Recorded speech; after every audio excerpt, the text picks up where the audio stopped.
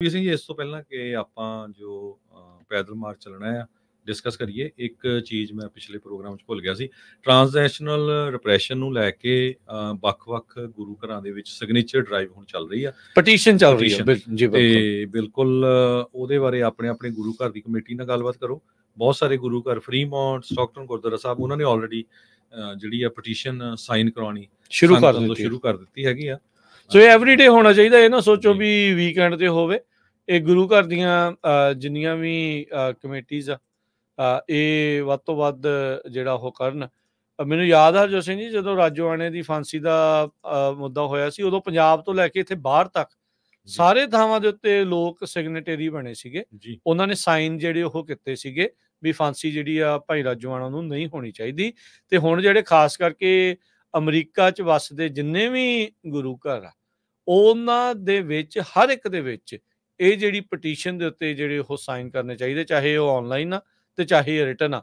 Written ਦਾ ਇੱਕ ਵੱਖਰਾ ਜਿਹੜਾ ਉਹ ਫ਼ਰਕ ਪੈਂਦਾ ਆ ਆਨਲਾਈਨ ਜਿਹੜੀ ਉਹ ਕਿਸੇ ਪਲੇਟਫਾਰਮ ਤੇ ਯੂਜਲੀ ਹੁੰਦੀ ਆ, ਪਰ ਇਹ ਮੇਕ ਸ਼ੋਰ ਕਰਨਾ ਚਾਹੀਦਾ ਆ ਵੀ ਇਹ ਹੋਵੇ ਜ਼ਰੂਰ।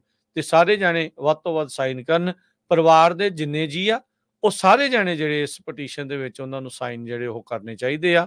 ਤਾਂ ਜੋ ਇਹ ਜਿਹੜੇ ਸਿਗਨੇਚਰ ਆ ਉਹ ਹੋਣ। ਐਵਰੀਡੇ ਗੁਰੂ ਘਰ ਦੇ ਦਰਬਾਰ ਹਾਲ ਦੇ ਬਾਹਰ ਹਰ ਇੱਕ ਗੁਰੂ ਘਰ ਦੇ ਵਿੱਚ ਇੱਕ ਟੇਬਲ ਲੱਗਾ ਹੋਣਾ ਚਾਹੀਦਾ ਆ, ਜਿੱਥੇ ਇੱਕ ਦੋ ਵਲੰਟੀਅਰ ਹੋਣ ਤੇ ਉੱਥੇ ਪੱਕਾ ਜਿਹੜਾ ਉਹ ਆਏ ਗਏ ਜਿਹੜੀ ਵੀ ਸੰਗਤ ਦੇ ਮੈਂਬਰ ਉਹਨਾਂ ਨੂੰ ਪੁੱਛਣ ਵੀ ਕੀ ਤੁਸੀਂ ਗੁਰੂ ਘਰ ਦੇ ਜਿਹੜੇ ਇਹ ਗੁਰੂ ਘਰ ਆ, ਉਹਨਾਂ ਨੂੰ ਡਰੱਗ ਦੇ ਅੱਡੇ ਮੰਨਦੇ ਆ? ਕੀ ਇਹ ਹਥਿਆਰਾਂ ਦੇ ਅੱਡੇ ਆ?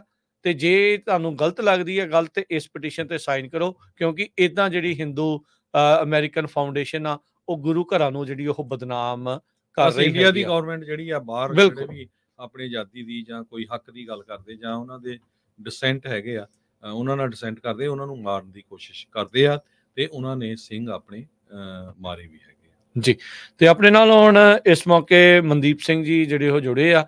ਸੋ ਦੇਖੋ ਟ੍ਰਾਂਸਨੈਸ਼ਨਲ ਰਿਪਰੈਸ਼ਨ ਦਾ ਮੁੱਦਾ ਹੈ ਸਾਰੇ ਪਾਸੇ ਕਿਤੇ ਸੌਫਟ ਆ ਕਿਤੇ ਹਾਰਡ ਦੇ ਨਾਲ ਆ।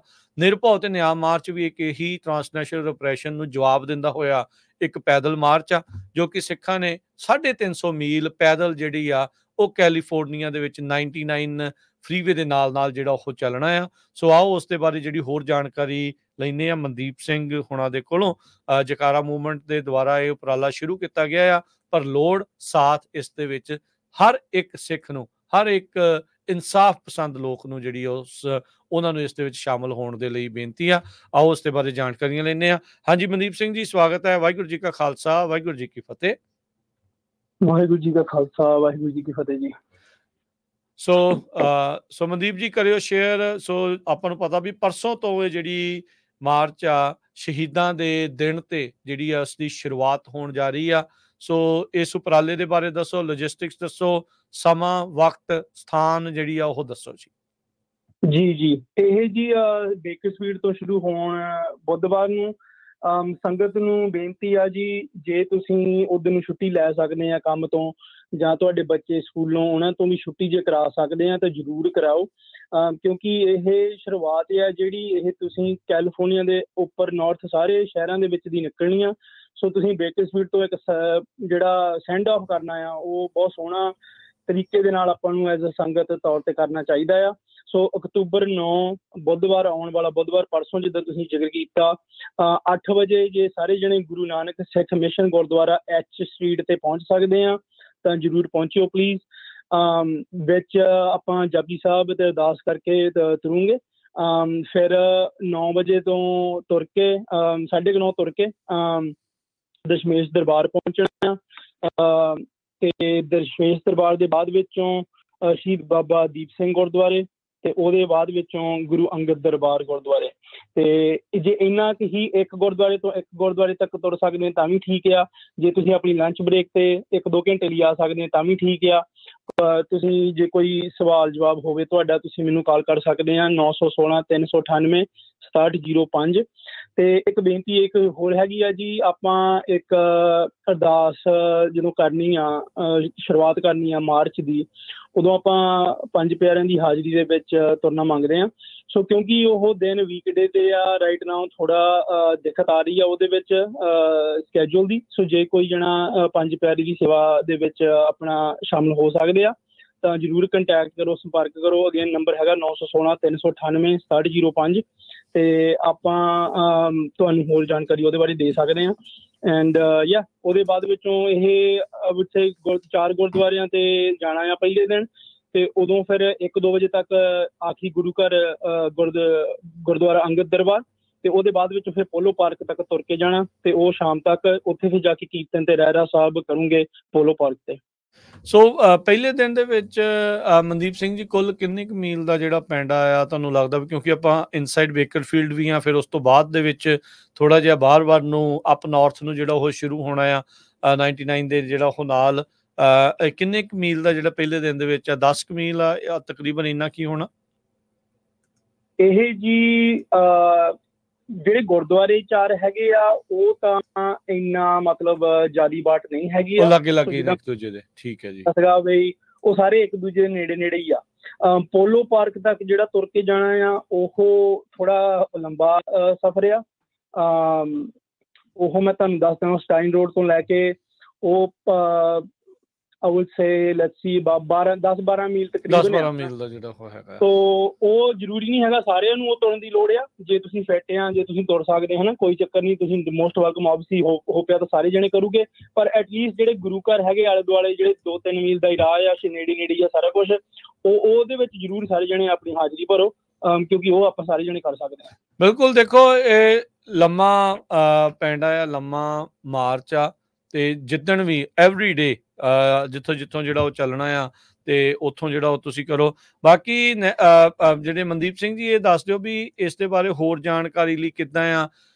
ਇਹ ਫ੍ਰੀਵੇ ਦੇ ਉੱਤੇ ਤੁਰਿਆ ਜਾਣਾ ਆ ਫ੍ਰੀਵੇ ਤੋਂ ਬਾਰ-ਬਾਰ ਹੋਣਾ ਆ ਕਿੱਦਾਂ ਹੋਣਾ? ਥੋੜਾ ਜਿਹਾ ਇਹ ਵੀ ਲੌਜਿਸਟਿਕ ਥੋੜਾ ਦੱਸ ਦਿਓ ਕਿਉਂਕਿ ਕਈਆਂ ਦਾ ਇਹ ਸਵਾਲ ਵੀ ਹੋਣਾ ਆ। ਇਹਦੇ ਵਿੱਚ ਹੀ ਆਪਾਂ ਫਰੀਵੇ ਤੇ ਨਹੀਂ ਤੁਰਨਾ ਸਾਰੀ ਜਿਹੜੀ 350 ਮੀਲ ਤੋਂ ਬਾੜ ਆ ਜਿਹੜੀ, ਇਹ ਹਾਈਵੇ ਤੇ ਕਦੀ ਵੀ ਨਹੀਂ ਆਪਾਂ ਤੁਰਨਾ ਹੈਗਾ। ਆਪਾਂ ਸਾਈਡ ਰੋਡ ਆ ਰੂਟ ਮੈਪ ਕੀਤੇ ਆ, ਆਪਾਂ ਸੀਐਚਪੀ ਵਾਲਿਆਂ ਨੂੰ ਵੀ ਦੱਸਿਆ ਆ ਕਿੱਥੇ ਕਿੱਥੇ ਆਪਾਂ ਤੁਰਨਾ ਆ। ਅਸੀਂ ਐਕਚੁਅਲੀ ਉੱਥੋਂ ਡਰਾਈਵ ਕਰਕੇ ਵੀ ਕੱਲਾ ਕੱਲਾ ਮੀਲ ਅਸੀਂ ਆਲਰੇਡੀ ਆ ਪਿਛਲੇ 2 ਹਫ਼ਤੇ ਕਰ ਰਹੇ ਸੀਗੇ। ਪੂਰਾ ਡਰਾਈਵ ਕਰਕੇ ਮੈਪ ਆਊਟ ਕੀਤਾ ਆ ਕਿੱਥੇ ਕਿੱਥੇ ਤੁਰ ਸਕਦੇ, ਕਿੱਥੇ ਸਾਈਡਾਂ ਤੇ ਉਹ ਹੈਗੇ ਥਾਂ, ਕਈ ਵਾਰੀ ਖੇਤਾਂ ਦੇ ਵਿੱਚ ਵੀ ਜਾਣਾ ਆ ਲਾਈਕ ਸਾਈਡ ਜਿਹੜੇ ਉਹ ਮਿੱਟੀ ਦਾ ਥੋੜਾ ਜਿਹਾ ਰਾਹ ਹੁੰਦਾ ਜਿਹੜਾ ਤੇ ਨਾਲ ਨਾਲ ਆਪਣੇ ਕੋਲ ਦੋ ਵੈਨਾਂ ਵੀ ਹੋਊਗੀਆਂ ਇੱਕ ਸਪਲਾਈ ਵੈਨ ਹੋਊਗੀ, ਇੱਕ ਪੈਸੇਂਜਰ ਵੈਨ ਹੋਊਗੀ, ਸੋ ਜੇ ਕਿਸੇ ਨੂੰ ਬ੍ਰੇਕ ਚਾਹੀਦੀ ਹੋਵੇ, ਉਹ ਵੈਨ 'ਚ ਬਹਿ ਸਕਦੇ ਆ। ਤੇ ਨਾਲ ਨਾਲ ਆਪਣੇ ਕੋਲ ਨਰਸ ਵੀ ਆਪਾਂ ਇੱਕ ਰੱਖਿਆ ਆ ਪ੍ਰੋਗਰਾਮ ਚ, ਜੇ ਕਿਸੇ ਨੂੰ ਇੱਕ ਮੈਡੀਕਲ ਹੈਲਪ ਤੇ ਲੋੜ ਹੋਵੇ ਕੁਝ ਕੁਝ ਵੀ। ਸੋ ਉਹ ਲੰਬੇ ਸਫ਼ਰ ਜਿਹੜਾ ਲੰਮਾ ਤੁਰਨਾ ਆ, ਉਹਦੇ ਲਈ ਸਾਰਾ ਪ੍ਰਬੰਧ ਕੀਤਾ ਆ ਆਪਾਂ। ਬਟ ਅਗੇਨ ਇਦਾਂ ਘਬਰਾਉਣ ਦੀ ਕੋਈ ਲੋੜ ਨਹੀਂ ਹੈਗੀ ਕਿਉਂਕਿ ਜ਼ਰੂਰੀ ਨਹੀਂ ਹੈਗਾ ਤੁਹਾਨੂੰ ਸਾਰੀ ਬਾਟੀ ਤੁਰਨੀ ਪੈਣੀ ਹੈ ਹਨਾ? ਇਹ ਨਹੀਂ ਹੈਗਾ ਵੀ ਇੱਕ ਜਣੇ ਨੇ ਜਾਂ ਦੋ ਜਣਿਆਂ ਨੇ ਸਾਰਾ ਹੀ ਬਾਟੀ ਤੁਰਨੀ ਆ। ਤੁਸੀਂ ਜਿੰਨਾ ਜਿੰਨਾ ਤੁਸੀਂ ਸੰਭਾਲ ਸਕਦੇ ਆਪਣੇ ਇੱਕ ਅੱਧਾ ਮੀਲ ਹੋਵੇ ਦੋ ਮੀਲ ਹੋਵੇ ਤਿੰਨ ਹੋਣ ਚਾਰ ਹੋਣ ਪੰਜ ਹੋਣ ਜਿੰਨਾ ਵੀ ਹੋਵੇ ਤੁਸੀਂ ਜ਼ਰੂਰ ਉਹਦੇ ਵਿੱਚ ਆਪਣਾ ਹਿੱਸਾ ਪਾਓ। ਹਰ ਰੋਜ਼ ਕਿੰਨਾ ਕੁ ਤੁਰਿਆ ਕਰਨਾ ਹੈਗਾ? ਹਰ ਰੋਜ਼ ਹੀ ਸੋ ਸ਼ਾਮੀ ਸਵੇਰ ਨੂੰ ਉੱਠ ਉਹ ਗੁਰੂ ਘਰ ਤੋਂ ਜਿੱਥੋਂ ਜਿੱਥੇ ਗੁਰੂ ਘਰ ਸਟਾਪ ਹੈਗੇ ਆ ਹੁਣ ਜਿੱਦਾਂ ਕੱਲ ਪਰਸੋਂ ਸ਼ਾਮ ਨੂੰ ਪੋਲੋ ਪਾਰਕ ਤੇ ਸਮਾਪਤੀ ਆ, ਕਿਉਂਕਿ ਡਿਲੇਨੋ ਤੱਕ ਤੁਰਨ ਦਾ ਸਫ਼ਰ ਦੋ ਤਿੰਨ ਦਿਨ ਲੱਗ ਜਾਣੇ, ਹਨਾ? ਸੋ ਪੋਲੋ ਪਾਰਕ ਤੇ ਸਮਾਪਤੀ ਹੋਣੀ ਆ, ਸੋ ਅਗਲੇ ਦਿਨ ਸਵੇਰ ਨੂੰ ਫਿਰ ਉੱਥੋਂ ਪੋਲੋ ਪਾਰਕ ਤੋਂ ਸ਼ੁਰੂ ਕਰਨਾ ਤੇ ਅਗਲੇ ਸਟਾਪ ਤੱਕ ਜਾਣਾ ਆ। ਤੇ ਉਹ ਫਿਰ ਸ਼ਾਮ ਤੱਕ 5 5:30 ਵਜੇ ਤੱਕ ਪਹੁੰਚ ਜਾਓਗੇ। ਦਿਨ ਦੇ ਵਿੱਚ ਵਿੱਚ ਹੈਗਾ ਆ ਆਪਾਂ 1-2 ਘੰਟੇ ਹੀ ਰੋਕ ਕੇ ਫਿਰ ਬ੍ਰੇਕ ਕਰ ਲੂੰਗੇ ਸਨੈਕਸ ਵਗੈਰਾ ਡੀਹਾਈਡਰੇਸ਼ਨ ਫਿਰ 1-2 ਘੰਟੇ ਲਈ ਤੁਰ ਕੇ ਫਿਰ ਇੱਕ ਮੀਲ ਕਰ ਲੂੰਗੇ ਖਾਣ ਯੂ نو ਖਾਣ ਦਾ ਪ੍ਰਬੰਧ ਹੋਊਗਾ। ਲੰਚ ਬ੍ਰੇਕ ਸਨੈਕ ਬ੍ਰੇਕ ਇਦਾਂ ਵਿੱਚ ਵਿੱਚ ਬ੍ਰੇਕ ਜਿਹੜੀ ਉਹ ਚੱਲਦੀ ਜਿਹੜੀ ਉਹ ਨਾਲ ਨਾਲ ਰਹਿਣੀ। ਜੇ ਕੋਈ ਸੇਵਾ ਵੀ ਕਰਨੀ ਚਾਹੁੰਦਾ ਹੈ ਵੀ ਹਾਂ ਮੈਂ ਲੰਚ ਦੀ ਕਰਨੀ ਆ ਜਾਂ ਹਨਾ ਲੰਗਰ ਦੀ ਜਾਂ ਕੁਝ ਜਰੂਰ ਜੀ ਜਰੂਰ ਜੀ। ਕੋਈ ਪਾਣੀ ਦੀ ਜਾਂ ਕਿੱਦਾਂ ਵੀ ਆ ਜੋ ਵੀ ਕੋਈ ਕਰਨਾ ਚਾਹੁੰਦਾ। ਬਿਲਕੁਲ ਇਹ ਕਰਨਾ ਚਾਹੀਦਾ ਸਭ ਕੁਝ ਹਾਂ ਹੁਣ ਕਈ ਵਾਰੀ ਇਹ ਵੀ ਹੋਣਾ ਹੈ ਵੀ ਕਈਆਂ ਨੇ ਹੁਣ ਬੇਕਰਫੀਲਡ ਤੋਂ ਹੀ ਤੁਰ ਪੈਣਾ ਆ ਸੈਕਰਾਮੈਂਟੋ ਤੇ ਕਿਤੇ ਜਿੱਥੇ ਤੱਕ ਗੁਰੂ ਘਰ ਆ ਉੱਥੇ ਤਾਂ ਰਹਿਣ ਦਾ ਕੋਈ ਪ੍ਰਬੰਧ ਹੈਗਾ ਹੀ ਆ ਉਹ ਤਾਂ ਕੋਈ ਰੌਲਾ ਹੀ ਨਹੀਂ ਹੈ। ਬੰਦਾ ਰਸਤੇ 'ਚ ਕਿਸੇ ਰੁਕਣਾ ਹੋਵੇ ਜੇ ਉਹ ਵੀ ਕੋਈ ਸੇਵਾ ਕਰਨੀ ਚਾਹੁੰਦਾ ਹੋਵੇ ਕੋਈ ਹੋਟਲ ਵਾਲਾ ਕੋਈ ਮੋਟਰ ਵਾਲਾ ਜਾਂ ਕੋਈ ਸੋ ਨੰਬਰ ਨੰਬਰ ਜ਼ਰੂਰ ਮਨਦੀਪ ਜੀ ਇੱਕ ਦੋ ਜਿਹੜੇ ਜ਼ਰੂਰ ਸ਼ੇਅਰ ਕਰੋ ਵੀ ਜੇ ਕੋਈ ਵਲੰਟੀਅਰ ਕਰਨਾ ਚਾਹੁੰਦਾ ਕੋਈ ਸੇਵਾ ਇਸ ਦੇ ਵਿੱਚ ਹਿੱਸਾ ਲੈਣਾ ਚਾਹੁੰਦਾ ਕੋਈ ਨਾਲ ਤੁਰਨਾ ਚਾਹੁੰਦਾ ਕਿਸੇ ਦੇ ਕੋਈ ਸਵਾਲ ਨਹੀਂ ਕੁਛ ਨਹੀਂ ਤਾਂ ਨੰਬਰ ਇੱਕ ਦੋ ਵਾਰੀ ਜ਼ਰੂਰ ਆਪਣਾ ਸ਼ੇਅਰ ਕਰ ਦਿਓ ਜੀ ਹੋਰ। ਜੀ ਜੀ ਜੀ। ਇੱਕ ਮੇਰਾ ਨੰਬਰ ਲਿਖ ਲਓ ਜੀ ਹੈਗਾ ਆ 916 398 6705 916 398 6705 ਇਹ ਮੇਰਾ ਨੰਬਰ ਹੈ ਮਨਦੀਪ ਸਿੰਘ ਦਾ ਆ। ਤੇ ਦੀਪ ਦਾ ਨੈਨਦੀਪ ਨੂੰ ਵੀ ਕਾਲ ਕਰ ਸਕਦੇ ਆ ਉਹਦਾ ਹੈਗਾ ਆ 5596474700 ਠੀਕ ਹੈ ਜੀ 559 647 4700 ਜਿਹੜਾ ਹੈ ਤੇ ਬਾਕੀ ਜੇ ਕਿਸੇ ਨੇ ਇਨਫੋਰਮੇਸ਼ਨ ਲੈਣੀ ਆ ਆਨਲਾਈਨ ਵੀ ਕੋਈ ਵੈਬਸਾਈਟ ਅਵੇਲੇਬਲ ਆ ਜਿੱਤੇ ਇਨਫੋਰਮੇਸ਼ਨ ਲੈ ਸਕਦੇ ਹਾਂਜੀ ਆ? ਹਾਂਜੀ। ਹਾਂਜੀ ਵੈਬਸਾਈਟ ਹੈਗੀ ਆ ਜੀ 61984.org s i k h s 1984.org 61984.org ਤੁਸੀਂ ਪੈਂਪਲੇਟ ਵਗੈਰਾ ਵੀ ਛਪਾਏ ਆ ਰਸਤੇ 'ਚ ਜੇ ਕੋਈ ਜਿਹਦਾ ਨਾਨ ਸਿੱਖ ਹੈਗਾ ਕਿਸੇ ਨੂੰ ਦੱਸਣਾ ਵੀ ਅਸੀਂ ਬਾਰੇ ਹਾਂਜੀ ਹਾਂਜੀ ਉਹ ਨਾਲ ਨਾਲ ਚੱਲੂਗੀ ਉੱਥੇ ABC ਨਿਊਜ਼ ਵਾਲੇ ਵੀ ਆ ਰਹੇ ਆ ਆਈ ਥਿੰਕ CBS ਵਾਲੇ ਵੀ ਨਿਊਜ਼ ਵਾਲੇ ਵੀ ਆ ਰਹੇ ਆ ਬਿਗਸਫੀਲਡ ਗੁਰੂ ਘਰ ਆਪਾਂ ਜਦੋਂ ਜਿੱਥੋਂ ਆ, ਕਰਨਾ ਉਹਦੇ- ਪਤਾ ਲੱਗਾ ਹੈ ਬਿਲਕੁਲ Washington Post CNN New York Times ਉਹਨਾਂ ਦੇ ਵੀ ਰਿਪੋਰਟਰ ਜਿਹੜੇ ਪਹੁੰਚ ਰਹੇ ਆ। ਸੋ ਇਹ ਇਹ ਮੌਕਾ ਹੁੰਦਾ ਹੈ ਜੀ। ਅਜਿਹੇ ਜਿਹੜੇ ਮੌਕੇ ਤੋਂ 40 ਸਾਲ ਹੋ ਗਏ ਆਪਣੇ ਨਾਲ ਅਨਿਆਂ ਹੋਇਆਂ ਨੂੰ, ਆਪਣੇ ਨਾਲ ਜਿਹੜਾ ਕਤਲੇਆਮ ਹੋਇਆਂ ਨੂੰ, ਧੱਕਾ ਜਿਹੜਾ ਜਿਹੜਾ ਉੱਥੇ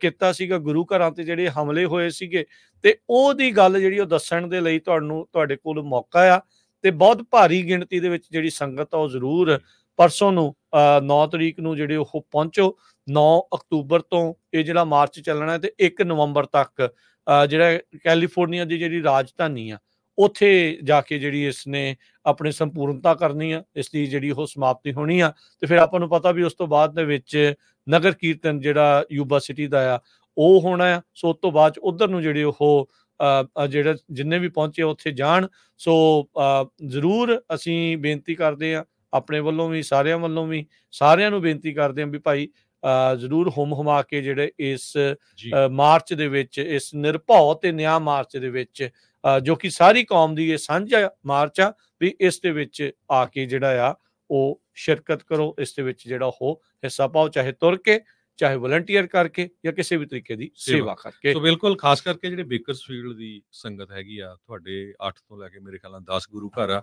ਬਹੁਤ ਵਾਰ ਛੋਟੇ ਛੋਟੇ ਇਸ਼ੂ ਤੇ ਡਿਫਰੈਂਸ ਹੁੰਦੇ ਆ। ਇਹ ਕੌਮੀ ਕਾਰਜ ਹੈਗਾ। ਮੇਰੇ ਖਿਆਲ ਨਾਲ ਦੁਨੀਆ ਦੇ ਵਿੱਚ ਪਹਿਲੀ ਵਾਰੀ ਇਹ ਪੈਦਲ ਮਾਰਚ ਐਡਾ ਲੰਮਾ ਜਿਹੜਾ 3 350 ਮੀਲ ਦਾ ਹੋਣ ਜਾ ਰਿਹਾ ਹੈਗਾ ਜਿਹੜਾ ਲਗਭਗ 24 25 ਦਿਨਾਂ ਚ ਸਮਾਪਤ ਹੋਣਾ ਹੈ। ਸੋ ਸਾਰੀ ਦੀ ਸਾਰੀ ਸੰਗਤ ਬਹੁਤ ਵੱਡਾ ਇਕੱਠ ਹੋਣਾ ਚਾਹੀਦਾ ਜਿਸ ਟਾਈਮ ਦੇ ਉੱਤੇ ਸ਼ੁਰੂਆਤ ਹੋਣੀ ਹੈਗੀ ਆ। ਬੁੱਧਵਾਰ ਨੂੰ ਸਵੇਰੇ ਮਨਦੀਪ ਜੀ 9 ਵਜੇ? ਨਹੀਂ ਜੀ 8 ਵਜੇ ਪਹੁੰਚੋ 9 ਵਜੇ। ਆਪਾਂ ਤੁਰ ਲਵਾਂਗੇ। ਪਰ 8 ਵਜੇ H Street Gurdwara Guru Nanak Sikh Mission ਉੱਥੇ ਪਹੁੰਚ ਜਾਇਓ। ਇਹ ਬਿਲਕੁਲ ਹਾਈਵੇ 99 ਦੇ ਉੱਤੇ ਆ ਨਵੀਂ ਬਿਲਡਿੰਗ ਗੁਰਦੁਆਰਾ ਸਾਹਿਬ ਦੀ ਰਾਈਟ ਜੀ ਜੀ। ਜੀ ਬਿਲਕੁਲ। ਚਲੋ